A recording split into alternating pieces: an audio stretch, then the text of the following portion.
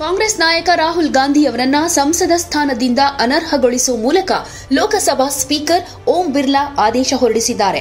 ರಾಷ್ಟ್ರ ರಾಜಕಾರಣದಲ್ಲಿ ಇದೊಂದು ಮಹತ್ವದ ಬೆಳವಣಿಗೆಯಾಗಿದ್ದು ಮಾನನಷ್ಟ ಪ್ರಕರಣಕ್ಕೆ ಸಂಬಂಧಪಟ್ಟ ಹಾಗೆ ಗುಜರಾತ್ನ ಸೂರತ್ ಕೋರ್ಟ್ ರಾಹುಲ್ ಗಾಂಧಿ ಅವರನ್ನ ದೋಷಿ ಅಂತ ತೀರ್ಪು ನೀಡಿದ ಹಿನ್ನೆಲೆಯಲ್ಲಿ ಲೋಕಸಭಾ ಸ್ಪೀಕರ್ ಈ ತೀರ್ಮಾನ ಕೈಗೊಂಡಿದ್ದಾರೆ.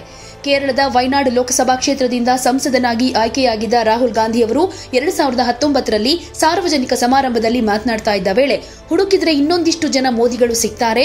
ನೀರವ್ ಮೋದಿ, ಲಲಿತ್ ಮೋದಿ, ನರೇಂದ್ರ ಮೋದಿ. ಹೀಗೆ ಎಲ್ಲಾ ಕಳ್ಳರ ಹೆಸರು ಮೋದಿ ಅಂತಾನೆ ಬರುತ್ತೆ ಅಂತ ಹೇಳಿದ್ರು. ರಾಹುಲ್ ಗಾಂಧಿ ಹೇಳಿಕೆ ವಿರುದ್ಧ ಗುಜರಾತ್ನಲ್ಲಿ ಪ್ರಕರಣವನ್ನು ದಾಖಲಿಸಲಾಗಿತ್ತು. ಈ ವಿಚಾರಕ್ಕೆ ಸಂಬಂಧಪಟ್ಟ ಹಾಗೆ ಕ್ರಿಮಿನಲ್ ಮಾನನಷ್ಟ ಮೊಕದ್ದಮೆಯಲ್ಲಿ ರಾಹುಲ್ ಗಾಂಧಿ ಅವರಿಗೆ ಗುಜರಾತ್ನ ಸೂರತ್ ನ್ಯಾಯಾಲಯ ಗುರುವಾರ ಎರಡು ವರ್ಷಗಳ ಕಾಲ ಜೈಲು ಶಿಕ್ಷೆಯನ್ನು ವಿಧಿಸಿ ಆದೇಶ ಪ್ರಕಟಿಸಿತ್ತು.